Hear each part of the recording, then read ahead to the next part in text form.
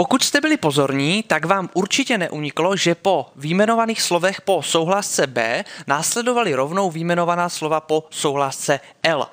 Když si ale v duchu nebo nahlas eh, výjmenujete všechny obojetné souhlasky, zjistíte, že po B přichází ještě na řadu F. Proč jsme se tedy neučili žádná výjmenovaná slova po F? Jednoduše proto, že žádná taková slova v českém jazyce neexistují. My jsme si totiž říkali, že výjmenovaná slova jsou taková slova, slova, ve kterých píšeme tvrdé i po obojetné souhlásce v koření českého slova. A pozor, důležité je v českého nebo v českém slově, v koření českého slova.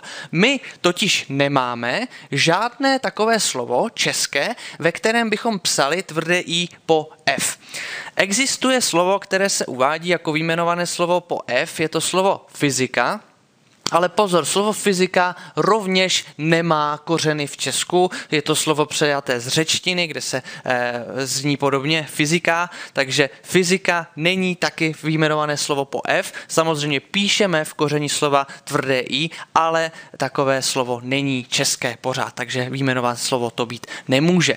My píšeme v českém jazyce e, tvrdé i po souhlasce F v koření slova poměrně dost. Existuje celá řada takových slov, můžeme si nějaké uvést. Tady máme fyzika, potom třeba slovo hypofýza, což je tedy část mozku, eh, nebo stafilokok, stafilokok, což je bakterie, eh, nebo třeba chlorofil, to je zase barvivo v rostlinkách.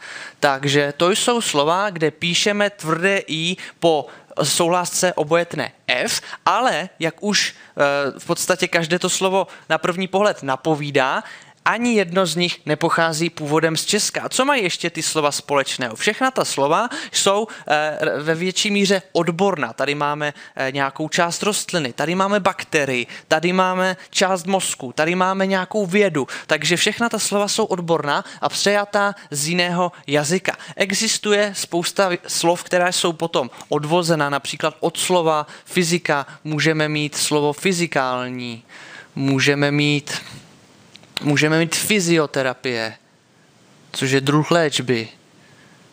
Fyzioterapie.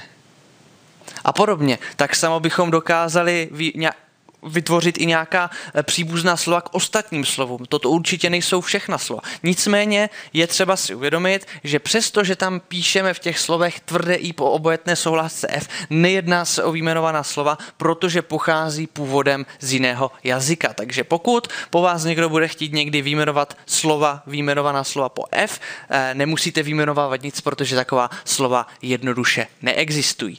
Po obojetné souhlásce eh, F se potom používá eh, nebo eh, píše tvrdé i ještě v dalších případech, a to sice v koncovkách, tam se ta obojetnost projevuje eh, velmi často.